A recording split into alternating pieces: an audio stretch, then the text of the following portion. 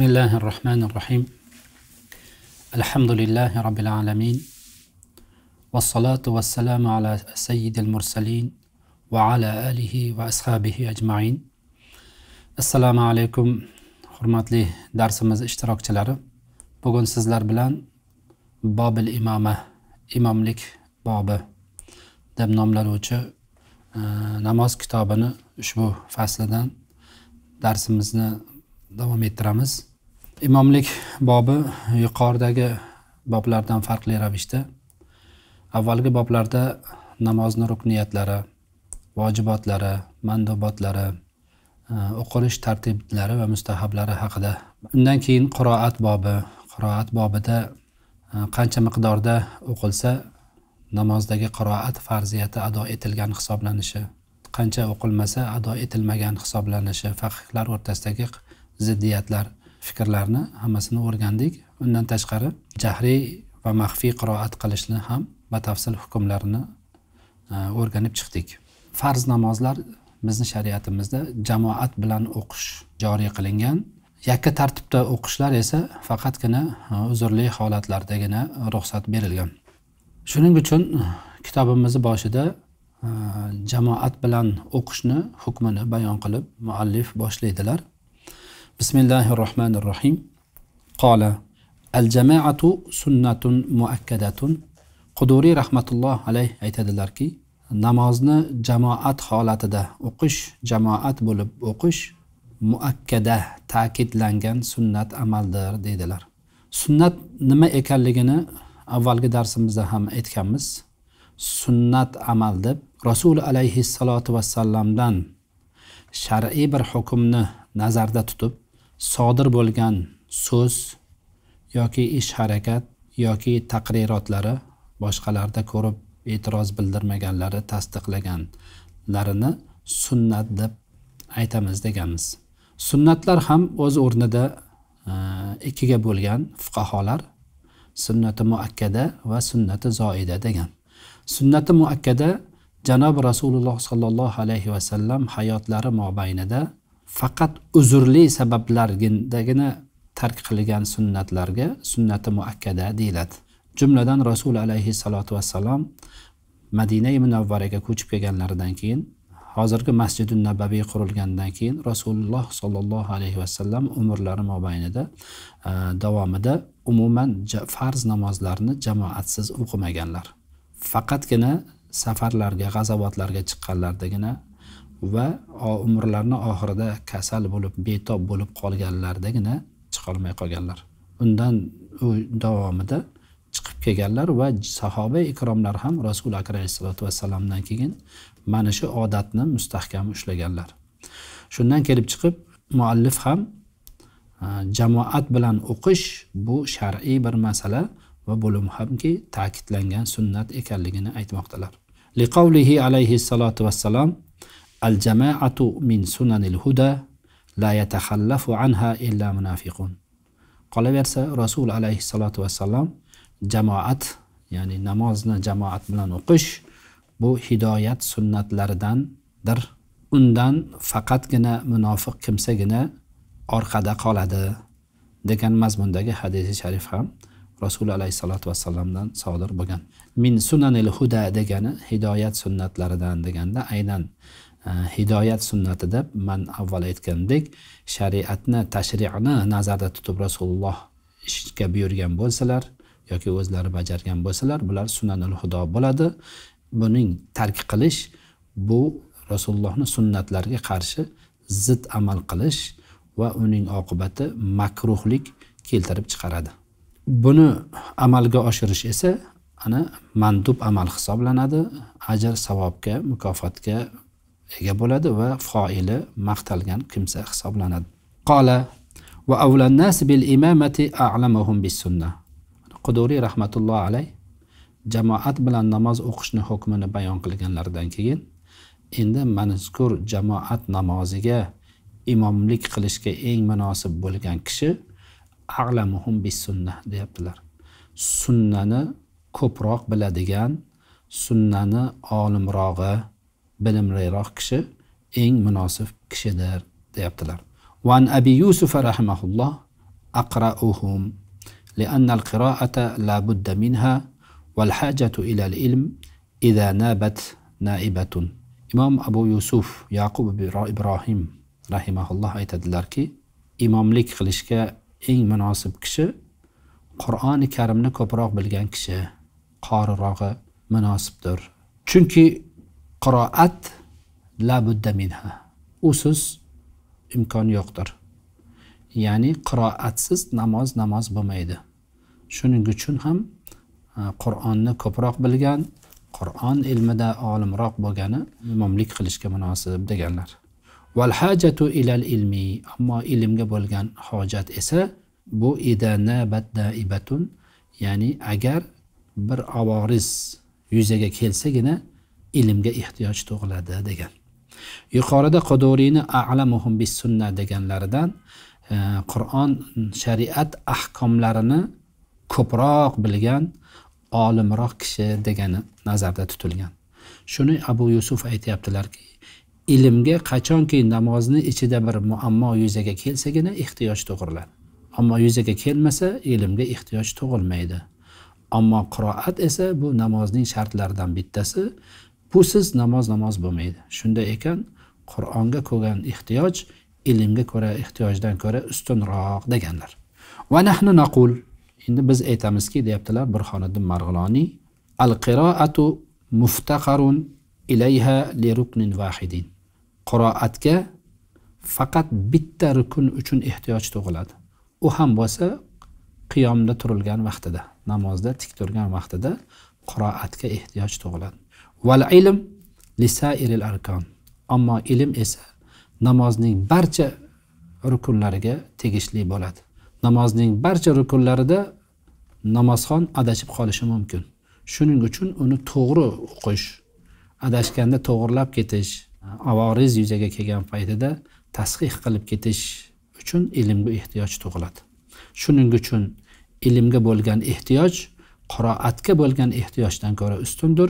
Shuning uchun jamoat namozida imomlikka o'tishga eng munosib kishi bu olim kishidir deymiz. Qola va fa aqrauhum. Agar jamoatni ichida kishilar ya'ni imomlikka munosib bo'lgan kishilar ilmda barobar bo'lsalar ana unda e, qiroatlari mukammalroq bo'lganliklari imomga o'tadilar. Liqavlihi alayhi salatu vassalam ya ummul qavma aqra'uhum لكتاب الله fa كانوا سواء فأعلمهم fa a'lamuhum bis sunnah chunki rasul alayhi salatu vassalam qavmga allohni kitobini ko'proq biladigan qoriroq bo'lgani imomga o'tadi. Agar ular qiroatda barobar bo'lsalar sunnatni ko'proq bilganlari e, imomlikka o'tadi degan hadisi shariflarga asosan agar ilmda barobar bo'lsalar ana qur'onni ko'proq biladigan qorirog'i o'tadi. Endi savol bo'lishi mumkin. Domla bu yerda hadisda birinchi bo'lib qorisi birinchi o'tsin.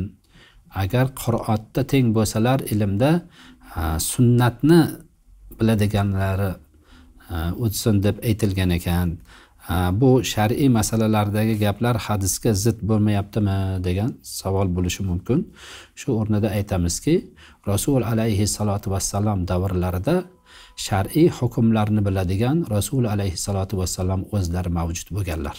Sahobalar o'rtasida namozlarda yuzaga keladigan masalalarni e, tasdiq qilishda tuzatishda rasul alayhissalotu vassalam o'zlari bevosita ishtirok etganliklari uchun sahoba ikromlarda ortiqcha shar'iy bilimlarni chuqur bilishga e, ehtiyoj tug'ilmagan. Balki eng ehtiyoj qur'oni karimni ko'proq yodlab olish hifz qilib o'rganib olishga bo'lgan ehtiyoj kuchli bo'lgan. Bu birinchi birlamchi bo'lsa ikkinchidan sahoba ikromlar qur'oni karimni o'rganish bilan oyatlarni o'rganishlari bilan birgalikda oyatlardan chiqadigan shar'iy hukmlarni ham birato'la rasululloh alayhisalotu vassalamdan o'rganib tushunib ketganlar. Va aqrauhum deganda murod mana bu hadisi sharifdagina burxoniddin marg'iloniy aytyaptilarki kana a'lamuhum. Mana ya'ni a'lamuhum deb tushunishimiz kerak. Ya'ni qur'oni karimni ko'proq biladigani deb tushunishimiz kerak. Liannahum kanu yatalaqqawnahu bi ahkamihi chunki sahobalar rasululloh sollallohu alayhi vasallamdan qur'onni hukmlari bilan birga qabul qilar edilar ya'ni o'rganilar edilar degan. Rasul alayhissalotu vassalamdan sahobalar bitta oyat karima o'rgansalar ana shu oyat karimaning ostidan kelib chiqadigan shar'iy hukmlarni ham qo'shib o'rganganlar. Shuning uchun aqramahum degan so'zdan maqsad bu yerda qur'oni karimni ko'proq biladigan degan ma'noni tushunish kerak albatta hukmlari bilan. Faquddima fil hadisi shuning uchun ham hadisda aqrauhum degan so'z avval kelgan deyaptilar. Vala kadalika fi zamanina ammo hozirgi bizni zamonamizda esa bunday emas. Ya'ni qanday emas desa chunki bizni zamonamizda ko'proq ko'plab qorilar borki ular qur'oni karimni e, oyatlarini hukmiga bexabarlar. Qur'oni karimni e, yaxshi go'zal chiroyli tilovat qilib o'qib berishlari mumkin lekin unga shar'iy hukmlarga aloqador bo'lgan hukm oyatlarini istinbot istixrojlarini qonun qoida tartib qoidalaridan bexabarlar. Shuning uchun faqat damnal a'lama shuning uchun biz imomlikka munosib bo'lgan vaqtida biz ana shunday qur'on va sunnatdagi hukmlarni e, ko'proq biladigan olim kishini qoridan ko'ra ustun qo'yganmiz. فإن تسوى فأورعهم لقوله عليه الصلاة والسلام من صلى خلف عالم تقي فكأنما صلى خلف نبي qolaversa payg'ambar sollallohu alayhi vasallam hadisi shariflarda kim taqvodor olimning orqasida namoz o'qisa go'yoki u payg'ambarning orqasida namoz o'qibdi degan hadis sharifga asosan ham ana namozga imomatchilikka o'tayotganda taqvo ham muhim omillardan ekanligi inobatga olishimiz kerak. Garchi bugungi kunimizda taqvo masalalari o'ta noyob fazilatlilardan bo'lib qolgan bo'lsa ham lekin alloh subhanahu va taologa ibodat qilayotganda mo'min kishidan xosatan jamoatga imom bo'ladigan shaxslardan ilm qiroat bilan birgalikda taqvo ham zarur ekanligi mana shu jumlalardan o'rganishimiz mumkin.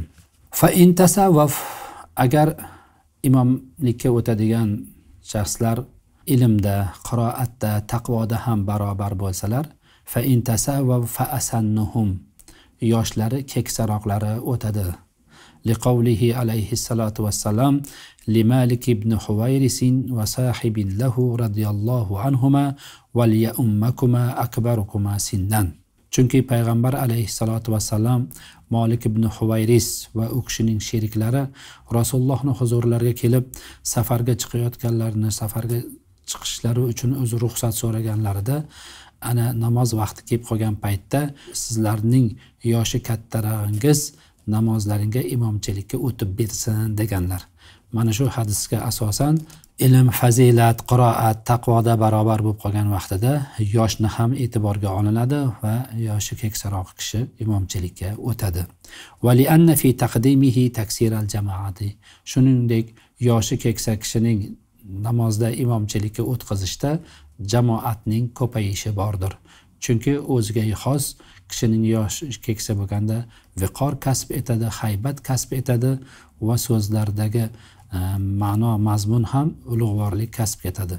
Shundan kelib chiqib xalq ham yoshi keksa yoshi katta bo'lgan ulug' yoshdagi kishilar imomchilikka o'tganda uning orqasida e, namoz o'qishga oshiqadilar. Qola va yukurahu taqdimul abdi liannahu la yatafarragu yuqoridagi aytgan masalalarimiz imomchilikka o'tishlik haqida bo'lsa bu tom uning aksi. Ya'ni kimlarni imomlikka o'tkazish yaxshi emas e, makruh sanaladi desa birinchi bo'lib qul kishini imomchilikka o'tkazish makruh sanaladi. Chunki u e, ilm uchun vaqti bo'lmaydi. E, qul kishi ko'proq hojasini roziligini topish maqsadida ko'proq uning yumushlari xizmatlar bilan ovora bo'ladi degan. Bu yerda qulni islom huquqida shariati islomiyada darajasini pastga tushirish emas balki unda shariat ilmidan boxabarlik darajasi e, kam bo'lganligi uchun odatda qullarni imomchilikka e, o'tkazilmaydi.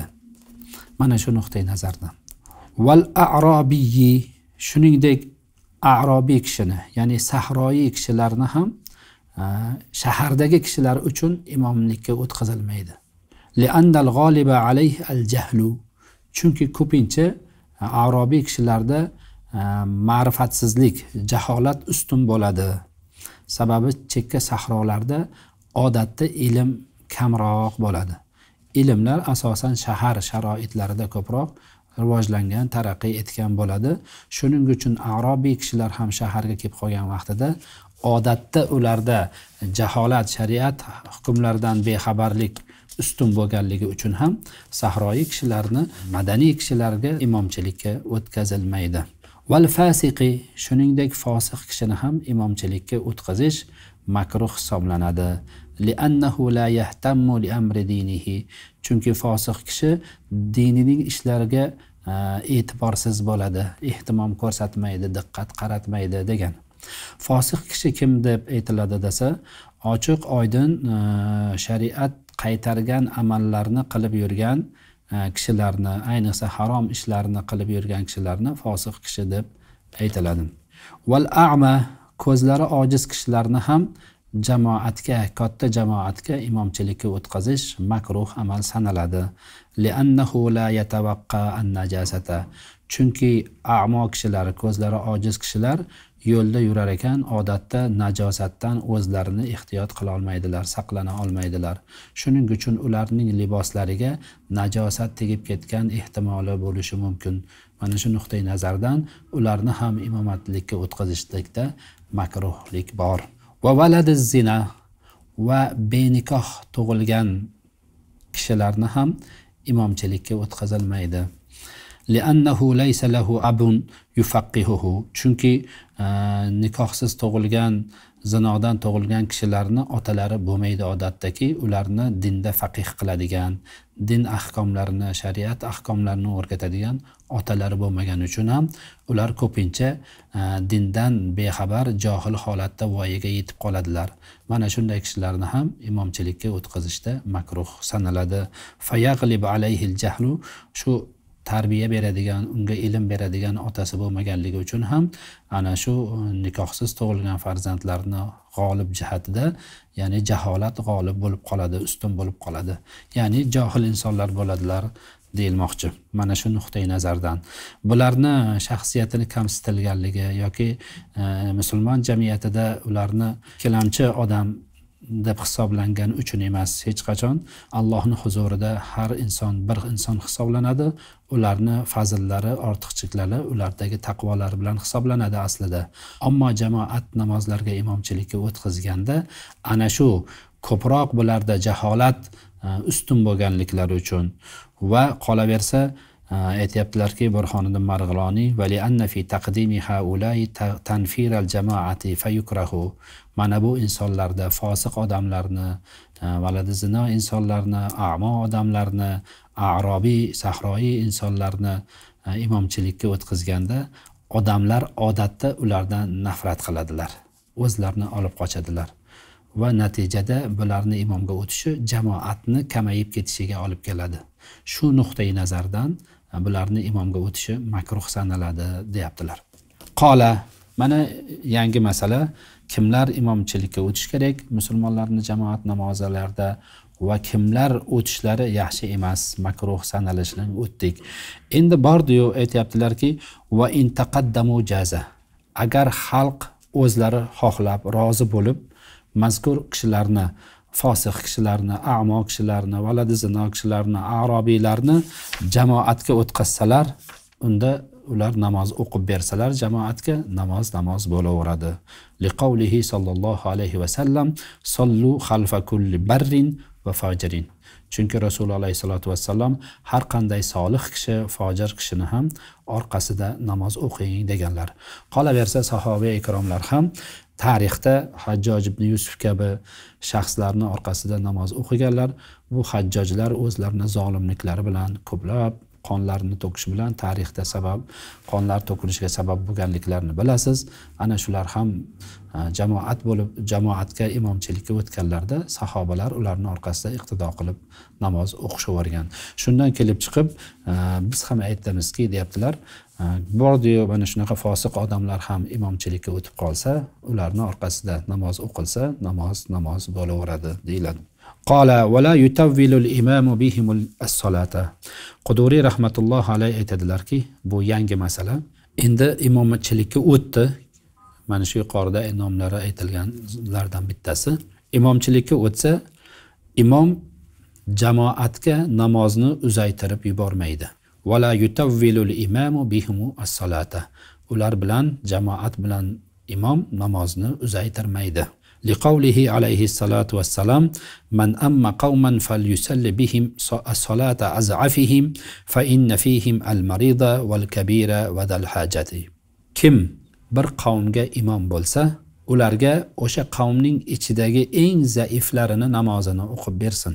Chunki ularni ichida kasallari bor keksalari bor va boshqa yumushlari bor ishi bor shoshilib turgan e, jamoat namozini savobini topay deb birrov jamoat bilan namoz o'qishga kirganlar bor. Shuning uchun ularni ichidagi eng zaiflari e, qanchalik yengil namoz o'qisa imom ham jamoatga namoz o'qib berayotganda eng yengil oson qisqa e, yo'lda namozni o'qib berish kerak bo'ladi. قال ويكره للنساء أن يصلين وحدهن جماعة mana yangi masala ayollar uchun makruh hisoblanadi namoz o'qishlari yolg'iz o'zlari jamoat holatida ya'ni ayollar o'zlari mustaqil tarzda erkaklarga iqtido qilmay mustaqil ayollarning o'zlari jamoat bo'lib namoz o'qib yurishlari e, makruh amal sanadi liannaha la taxlu an irtikabin muharramin chunki ular o'zlari mustaqil faqat ayollardan iborat holatda jamoat bo'lib namoz o'qisalar u holda ular muharram amalga qo'l urib qo'ygan bo'ladilar. Bu yerdagi muharram degan so'z ya'ni harom qilingan degan so'zdan makruh amalni tushunish kerak bo'ladi. Chunki harom qilishlik faqatgina qat'iy dalillar bilan bo'ladi ammo hadislar orqali qaytarilishi bu makruhlikni keltirib chiqaradi. Muharram ishga makruh sanalgan ishning bittasini bajarib qo'ygan bo'ladilar agar ular yolg'iz jamoat bilan namoz o'qisalar u ish nima edi desa huwa qiyamul imami vasata saffi. Ularning imomlari safning o'rtasida turishidir fayukurahu kal uroti shuning uchun e, yalang'och namoz o'qiganning namozi kabi ularning ham mak namozlari makruh bo'ladi degan. Mashru bo'lgan imomning makoni bu safdan oldinga chiqib turish kerak bo'ladi. Ammo ayol kishilar oldinga chiqib qolsalar avrat a'zolari boshqalarga nisbatan ma'lum bo'lib qoladi. Ayolning holati namozda butunlay satra avratda bo'lishi kerak edi. U sajda va ruku qilgan vaqtlarida Э, avrat a'zolari э, namoyon bo'lib boshqalarga nisbatan ma'lum bo'lib qoladi. Shuning uchun ular sunnat bo'lgan mashruh bo'lgan maqomni qolib ular o'zlarini hollari yana ham yopingarroq bo'lishligi uchun ayollarni o'rtasida turadilar. O'z uz o'zidan mashruh bo'lgan bitta amalni tark qilib ular zaruratan ichkarida turishga majbur bo'ladilar. Majbur bo'lganlaridan keyin o'zi makonni o'zgartirishlarini o'zi bitta makruh amalga qo'l urgan bo'ladilar. Shuning uchun ular xuddi yalang'och kishilar kiyimsiz kishilar jamoat bo'lib namoz o'qiganlarida imomlari o'rtaga chiqmagani kabi ularni ham yalang'och o'qigan kimsalarning jamoat bo'lib namoz o'qishlari makruh bo'lgani kabi ayollarni ham yolg'iz o'zlari e, jamoat bo'lib namoz o'qishlari makruh hisoblanadi. Agar bordiyu shunday qilsalar ularning imomlari saflarning o'rtasida turadi. Erkaklarni singarin oldinga chiqib turmaydi. Lianna oisha roziyallohu anha faalat kadalika chunki oisha roziyallohu anhu ayollar bilan jamoat bo'lib o'qiganlarida xuddi mana shunday qilganlar. Yana ushbu hadisdan ham bir savol chiqishi mumkinki domla hazrati oisha roziyallohu anhu jamoat bilan namoz o'qigan bo'lsalar ayollar qanday qilib bu makruh amal hisoblanadi desa va fi'luha al jamaata ala ibtida'il islam. Burhoniddin marg'iloniy aytyaptilarki u kishining qilgan jamoat bilan namoz o'qiganliklari islomni avvalida yuzaga kelgan deyaptilar. Bu haqda e, sharhlaydigan bo'lsak masala ancha chuqur. Shuning uchun bu narsa o'sha e, faqihlar bu hadis haqida e, hazrati oysha madinada rasulullohga turmushga chiqqan bo'lsalar holbuki qanday qilib bu ibtidoiy islom islomni ilk davridagi mana shunday qilganlar deb hamil qilib aytamiz desa bu yerda ana shu ularning jamoat bo'lib o'qishlari makruh ekanligidan avval deb tushunishimiz kerak bo'ladi. Agar ularning yolg'iz o'zlari jamoat bilan o'qishlari joriy bo'lganda edi buni sahoba ikromlarining barcha ayollari sahobiya ayollar e, va ulardan keyingi avlodlar mutavoris holatda qilib kelgan bo'lar edilar. Xuddi erkaklarni singari. Holbuki e, na rasulullohni zamonlarida na sahobalarni zamonida na keyingi davrlarni birortasida ayollarning yolg'iz o'zlari namoz o'qiganliklari kuzatilmagan. Mana shuning uchun ham bularni o'zlari mustaqil to'planib olib jamoat o'qishlari e, makruh bo'ladi deb aytiladi. Va shuningdek ayol kishi imomga o'tgan vaqtida e, oldinga chiqib qolsa e, kashfi ziyoda ortiqcha kashf bo'lib qoladi deyaptilar.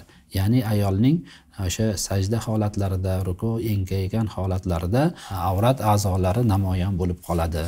Ortiqcha boshqalarga ko'rinib qoladi deyaptilar. qola va man solla maa vahidin aqamahu bi an yaminihi mana yangi masala endi bir kishi jamoat bilan emas bitta odam bilan bordiyu farz namozini o'qisa ana shu o'qigan kishi o'ziga iqtido qilgan kishini o'ng tarafiga turg'izib qo'yadi deydi لحديث ابن عباس رضي الله عنهما فإنه عليه الصلاة والسلام صلى به وأقامه عن يمينه chunki hazrati abdulloh ibn abbos rivoyat qilgan hadisda u kishi aytadiki rasul alayhissalotu vassalom ibn abbos bilan birga namoz o'qidilar.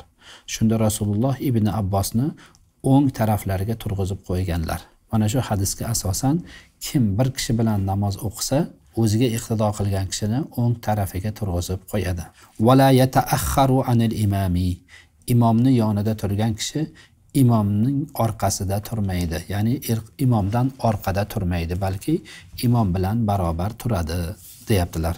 Va an muhammadin rahimahulloh annahu yada'u asabi'ahu inda aqibil imami val avvalu huwa dahir imom muhammaddan bir kishi imomga iqtido qilsa imomni o'ng tarafida turgan vaqtida imomning qadamini orqa qismi ya'ni tovon qismiga uning ya'ni iqtido qilgan muqtadiyning barmoqlarini ro'parasida turadi. Shu darajada orqada turadi degan rivoyat bor. Val avvalu huva dohiru avvalgi so'z esa ya'ni imom bilan barobar turadi degan so'z esa quvvatliroq so'zdir deyaptilar. Va insalla xalfahu av an yasarihi jaza va huwa musiun liannahu xalafa sunnata. Ana endi bir kishi bitta odam imomni orqasida bo'lsa yoki chap tarafida namoz o'qisa namoz namoz bo'ladi. Lekin u gunohkor bo'ladi. Sababi liannahu xolafa sunna u sunnaga muxolif qilgan bo'ladi. Mana bu kitoblarni ichidagi qoidalardan ham ko'rinishimiz mumkinki sunnaga muxolif bo'lishda musiy bo'lish ya'ni sunnat amalga teskari ish qilish bu gunohkor sanalishi bu shar'iy sunnatlarda amalga oshadi. Ammo sunnatlar urfiy bo'ladigan bo'lsa u vaqtida urfiy sunnatlarga muxolif qilgan kishi musiy deb aytilmaydi ya'ni gunohkor bo'ldi deyilmaydi. Qanday sunnatlar urfiy sunnatlarga kiradi desa rasul alayhissalotu vassalomning o'zlarining basharliklaridan kelib chiqqan va o'sha davrda odatda insonlar shar'iy hukmlarga aloqador bo'lmagan urf odatlari Э, o'zaro oldi berdilari yurish turishlari yashash sharoitlari kiyinish э, kabi odatlar bular urfiy sunnatlarga kiradi. Bunday sunnatlarni ado etishda esa mukallaf shaxs muhayyar bo'ladi. Agar shunda ham rasul alayhissalotu vassalomga tobe bo'lsa mustahsandir ammo tobe bo'lmasa u sunnatga xilof ish qilgan sanalmaydi. Qola va in amma isnayni taqaddama alayha. Agar kishi ikki kishiga imomlik qilsa ulardan oldinga o'tib turadi وعن أبي يوسف رحمه الله أنه يتوسطهما ونقل ذلك عن عبد الله بن مسعود رضي الله عنه أبو يوسفdan ikki kishining o'rtasida turadi imomi degan rivoyat bor va mana shu tartibda turishligi abdulloh ibn masud roziyallohu anhudan rivoyat qilingan qaysiki u kishi alqama bilan asvatga e, imom qilib imomchilikka o'tib berganlarida abdulloh ibn masud ularning o'rtalarida turganliklari rivoyat qilingan ولنا أنه عليه الصلاة والسلام تقدم على أنس واليتيم حين صلى بهما فهذا دليل الأفضلية والأثر دليل الإباحة bizning dalilimiz esa payg'ambar sollallohu alayhi vasallam anas ibn molik va bir yetim bilan namoz o'qiganlarida ulardan oldinga chiqib turganliklari rivoyat qilingan. Mana shu rasulullohni oldinga chiqib turganliklari bu afzaliyatning dalilidir. Ya'ni kishi ikki kishiga imomchilikka o'tib bersa imom oldinda turgani afzaldir o'rtasida turganidan ko'ra. Val asaru dalilul ibohati ammo abdulloh ibn masuddan rivoyat qilingan asar xabar esa bu ibohatning dalilidir. Bordiyu o'rtasida tursa joiz deganining dalilidir demoqchilar. Vala yajuzu lirrijali an yahtadu bi imroatin aw sabiyin ana yangi masala. Erkaklar ayol kishiga yoki sabiy bolaga balog'at yoshiga yetmagan yosh bolaga iqtido qilishlari joiz emas. Bordiyu iqtido qilib namoz o'qisalar o'qigan namozlari namoz bo'lmaydi. Ammal mar'atu faliqavlihi alayhi salatu vassalam akhiruhunna min haysu akharahunallohu fala yajuzu taqdimuha. Chunki payg'ambar alayhissalotu vassalam ularning orqaga qo'ring qaysiki alloh taolo ularni orqada qo'ygani kabi. Shunday ekan ayollarni taqdim qilish oldinga chiqarishlik joiz bo'lmaydi. Hadisi sharifda alloh taolo orqaga qo'yganidek orqaga qo'ying deganda ya'ni shariat ularni e, erkaklardan keyin orqa safda turishlarini e'tiborga olgan. Lekin e, ayrim hadis sharhlovchilari buni shahodatda merosda sulta masalalarida ayollarni ikkinchi o'ringa keyingi o'ringa qo'yganini inobatga olgan degan ma'no berganlar ham bor. Lekin nima bo'lganda ham ayol kishi o'sha keyingi quyidagi nimalarda ham masalalarda ham o'tamiz. Ular safda turgan vaqtlarida erkaklardan keyingi o'rinda turadilar. Shuning uchun ularni oldingi safga chiqarish falayajuzu taqdimuha degani aynan ayollarni erkaklardan avvalga qo'yishlik joiz bo'lmaydi deganidir. Bu ayollarga iqtido qilish joiz emasligini masalasi وأما السبي فلأنه متنفل فلا يجوز اقتداء المفترز به ammo yosh bolaga iqtido qilish joiz emasligi chunki u nafl namoz o'quvchidir fala yajuzu iqtidaul muftarizi bihi degani ya'ni farz namoz o'quvchi kishi nafl namoz o'qishga iqtido qilishi joiz emas deganidir sabiy bola garchi u farz namozini o'qiyotgan bo'lsa ham lekin e, u hali balog'atga yetmaganligi sababli shariat undan namoz o'qishni talab qilmagani sababli u o'z ixtiyori bilan ko'ngilli ravishda namoz o'qiyotgan bo'ladi shuning uchun uni farz namozi ham nafl namoz hisoblanadi shunday ekan balog'at yoshiga yetgan kishi farz namoz o'qiyotganda uning nafl namoziga iqtido qilishi joiz bo'lmaydi وفي التراويح وسنن المطلقة جوزه مشايخ بلخ رحمه الله taroveh namozida va mutlaq har qanday sunnat namozlarda ya'ni nafl namozlarda balx ulamolari fuqaholari iqtido qilishni joiz qilganlar salotil maznun deyiladi gumon qilingan namoznga qiyos qilib.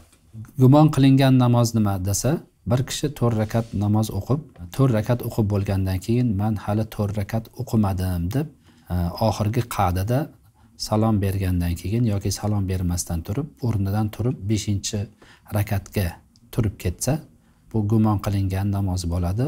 Ana shu beshinchi rakatga qo'shilib ketgan kishi qo'shilgan kelib iqtido qilsa ana bu salotil maznunga iqtido qilgan bo'ladi. Ya'ni farz namozini o'qib bo'lgan kishi beshinchi oltinchi rakatga turib ketsa uning namozi buzilmay namozi joiz bo'laveradi. Va beshinchi oltinchi rakatga qo'ygan namozi u kishi uchun nafl ibodat hisoblanadi.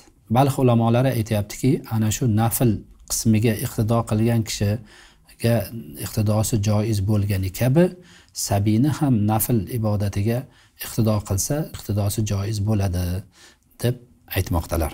Valam yujavviz mashayixini ya'ni mavaron nahr ulamolari esa mana shu nafl o'qiyotgan sabiyga iqtido qilishga ruxsat bermaganlar. Va minhum ana shu fuqaholarni ichida man haqqaqal xilofa fi naflil mutlaqi bayna abi yusufin va muhammadin rahimahulloh. Ularni ichida o'sha abu yusuf va muhammad o'rtalarida mutloq nafl namozlar. Har qanday e, biror bir vaqtga yo biror bir sababga e, bog'lanmasdan mutloq tarzda o'qilayotgan nafl namozlar borasida abu yusuf sabiyga iqtido qilish joiz emas degan imom muhammad joiz degan. Bularning o'rtasidagi ixtilofni e, tahqiq qilganlar o'rganib chiqqanlar va ularni sababini ajratib berganlar ham bo'lgan demoqchilar. Annahu la yajuzu fi kulliha.